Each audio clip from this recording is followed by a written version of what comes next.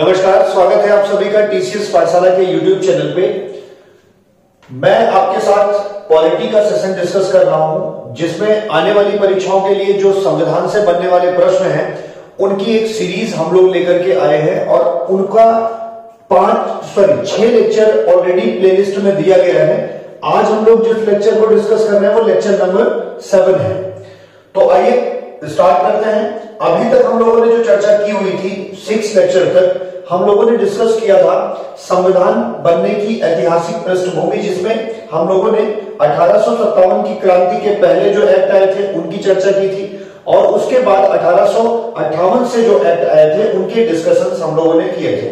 अगर आपने हमारे पिछले वीडियोस नहीं देखे हैं तो ताकि आपको क्वालिटी एकदम कंटिन्यू क्रम से समझ में आए, इसके लिए आप प्लेलिस्ट में जाइए। और छह वीडियोस जो पहले के दिए गए हैं, आप उन्हें देख सकते हैं। तो आज का जो टॉपिक है, जो हम डिस्कस करने वाले हैं, वो है कॉन्स्टिट्यूएंट असेंबली संविधान सभा।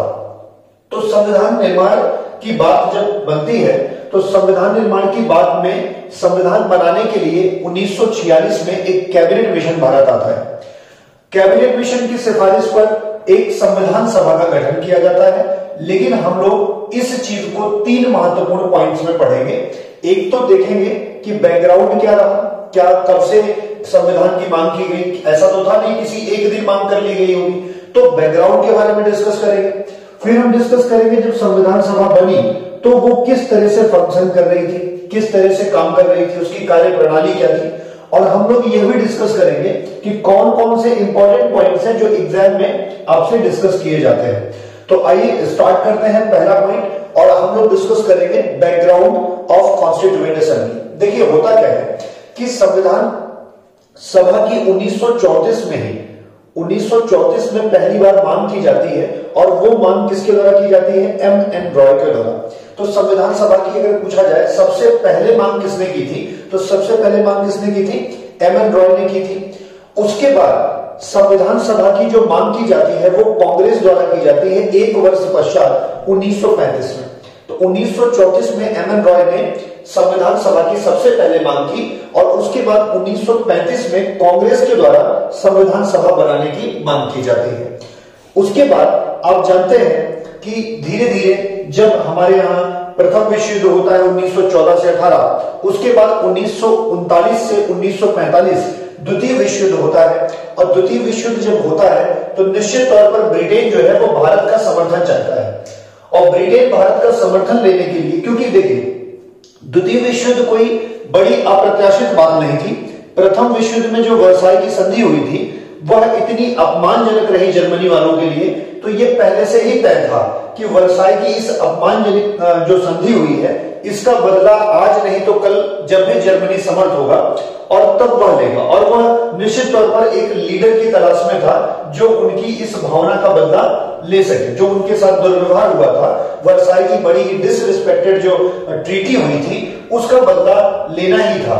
और यह सबको पता था, चाहे आज हो, चाहे दस साल बाद हो, लेकिन द्वितीय विश्व युद्ध तो होना है। तो द्वितीय विश्व युद्ध के लगभग माहौल जो थे, वो लगभग समझ में आने लगे थे और ब्रिटेन ये चाहता है कि जब भी विश्व युद्ध छिड़े, कौन साथ में रहे? भारत जो है, वो ब्रिटेन के साथ युद्ध में रहे।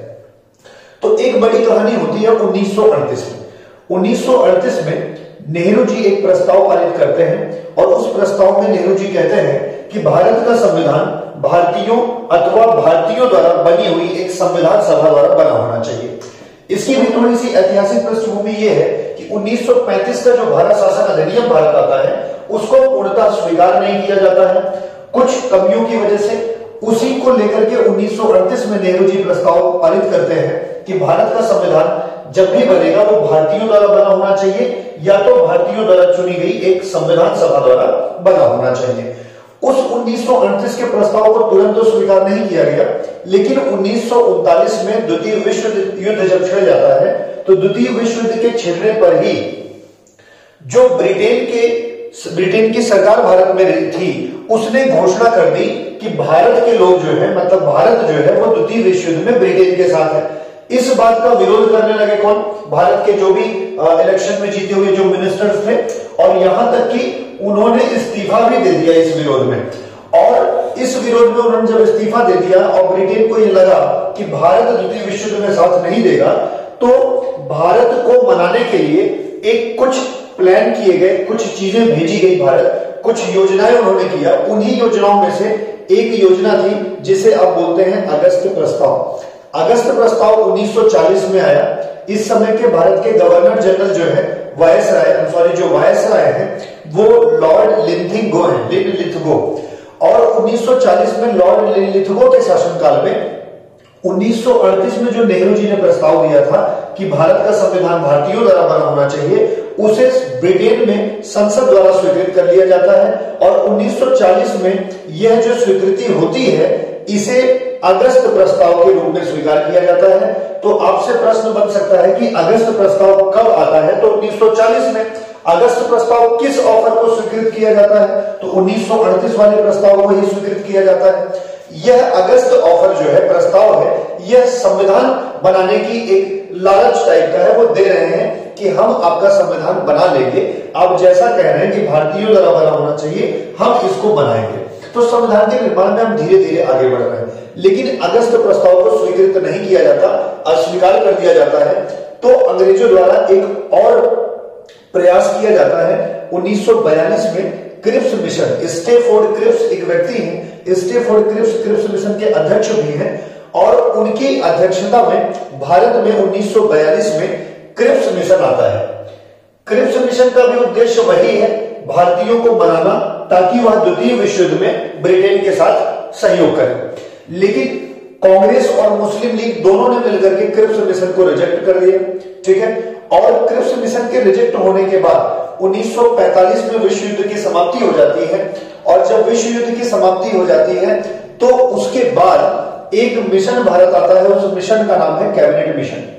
ठीक है? यहाँ से बहुत ध्यान दीजिएगा नोट्स ज़रूर बनाते चलिए। अगर आपको पॉलिटी एक सीरीज़ से हम लोग पढ़ा ही रहे पूरी पॉलिटी कंप्लीट होगी तो आप इसे नोट्स में पेन एंड पेपर लेके बैठा करिए और इसे नोट करते चला करिए। अगर आपको स्क्रीनशॉट भी लेना है तो आप स्क्रीनशॉट भी लेके रख सकते हैं और बाद में भी नोट कर सकते हैं। तो क्रिप्स मिशन के बाद कैबिनेट मिशन भारत आता है, जो कि 1946 में आता है। ठीक है? इसके अध्यक्ष जो रहते हैं, वो पैथिक लॉरेंस रहते हैं। सर पैथिक लॉरेंस की अध्यक्षता में एक मिशन, क्रिप्स मिशन भारत आता है। क्रिप्स मिशन में दो अन्य सदस्य भी थे, एक तो ए बी अलेक्जेंडर और एक स्टेफोर्ड क्रिप्स। ये वही क्रिप्स है जो क्रिप्स मिशन के अध्यक्ष थे। तो तीन सदस्यों की एक समिति आती है। तीन समिति का, तीन सदस्यों का एक आयोग आता है, जिसका नाम है कैबिनेट मिशन। 1946 में ये भारत आता है। अब जब 1946 में कैबिनेट मिशन भारत आते, आता है तो कैबिनेट मिशन का एक ही उद्देश्य होता है भारत में संविधान सभा का निर्माण करना। और जब संविधान सभा का निर्माण हो गया तो अब हमें संविधान सभा में सदस्यों को चुनना था। तो संविधान सभा का जब निर्माण किया जाना है तो उसमें सदस्य जो चुने जाएँगे, वो दो जगहों से चुने जाते हैं। एक तो ब्रिटिश प्रांतों से, ठीक है, और एक देसी रियासतों से। तो यहाँ पे देखिए, जब संविधान सभा बनती है तो संविधान सभा में जो सदस्यों का चुनाव होता है, वो दो जगहों से होता है। एक तो कहाँ से होता है? पहले कुल सीटें किसकी थी? संविधान सभा की कितनी थी? तीन सौ नवासी कुल सीटों की संविधान सभा का गठन होता है।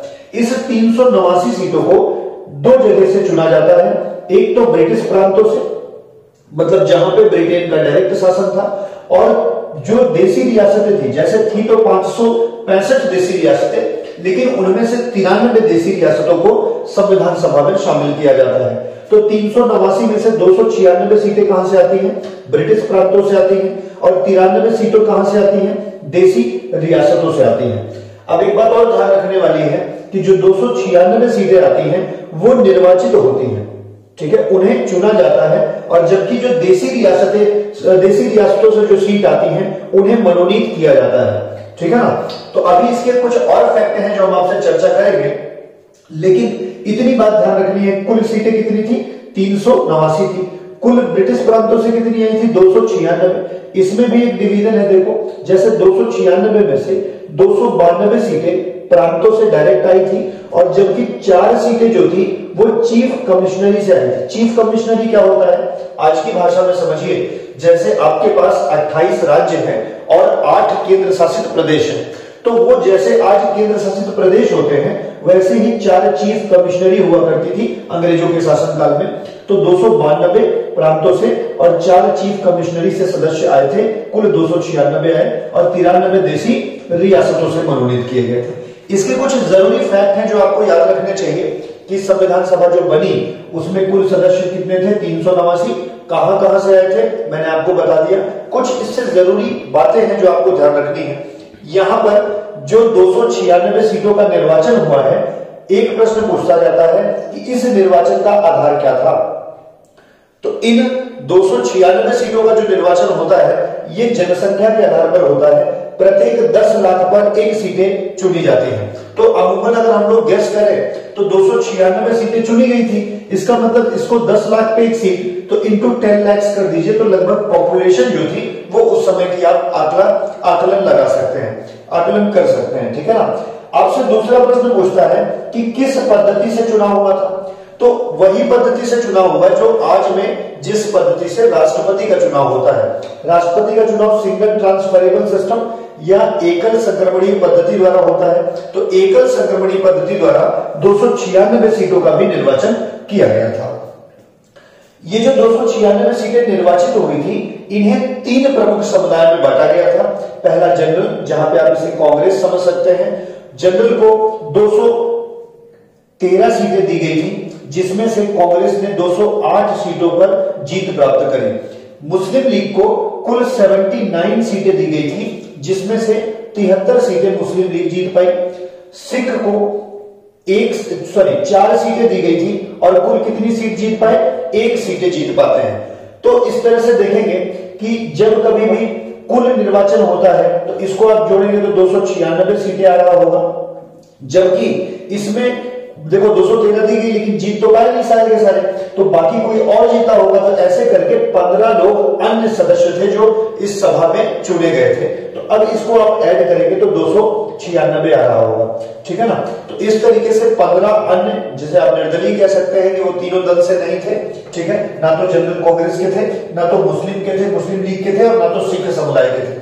तो इस तरीके से आप देखें कि तीन प्रमुख समुदाय में दो सौ छियानबे सीटों को बांटा गया।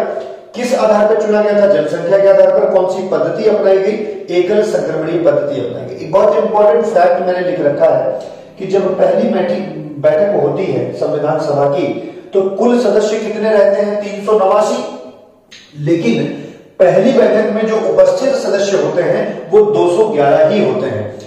ऐसा क्यों होता है? ऐसा इसलिए होता है कि जो मुस्लिम लीग रहती है, वो पहली बैठक का बहिष्कार कर देती है और पहली बैठक में वो नहीं आती है। इसके कारण क्या है? इसका कारण है, आप याद करिए 1940 1940 में मतलब 22 दिसंबर 1940 को जिन्ना ने एक दिन मनाया था, उस दिन को डे ऑफ़ डिक्लेरेशन कहा जाता है 22 दिसंबर को। और मार्च 1940 में, देखिए 22 दिसंबर उन्नीस सौ उनतालीस में डे ऑफ़ डिक्लेरेशन मनाया जाता है, जबकि मार्च 1940 में जिन्ना ने एक मांग कर ली पाकिस्तान के, अलग नेशन की मांग 1940 में हो गई थी। अब अलग देश की मांग हो गई थी तो वो पहली बैठक में इसलिए शामिल नहीं हुए ताकि उन्हें अलग देश चाहिए था। तो कौन सी बैठक का बहिष्कार कर रहे हैं मुस्लिम लीग? पहली बैठक। आइए हम लोग देखते हैं कि जब कॉन्स्टिट्यूएंट असेंबली बन गई, कुल सीटें हो गई, पहली बैठक हो गई तो किस तरह से वो काम कर रही है? कॉन्स्टिट्यूएंट असेंबली की पहली बैठक जो होती है, वो 9 दिसंबर 1946 को, संविधान सभा की पहली बैठक 9 दिसंबर 1946 को होती है, जिसका बहिष्कार किसने कर दिया था? मुस्लिम लीग ने। मुस्लिम लीग किस क्या कहते हैं, बैठक में नहीं आती है, वो प्रथम बैठक का बहिष्कार करती है। संविधान सभा जो थी, वो कब तक चली है? तो भैया 9 दिसंबर से लेकर के 26 नवंबर उन्नीस सौ उनचास को हम लोग अंतिम रूप से संविधान बना करके तैयार करते हैं। तो 26 नवंबर उन्नीस सौ उनचास तक संविधान सभा चलेगी। ठीक है? 9 दिसंबर से लेकर के। अब एक दिन सरकार चलेगी, एक दिन संविधान निर्माण होगा। तो 9 दिसंबर को अगर संविधान निर्माण की प्रक्रिया चलेगी तो 10 को सरकार चलेगी, फिर दूसरी बैठक होगी 11 दिसंबर उन्नीस सौ छियालीस को।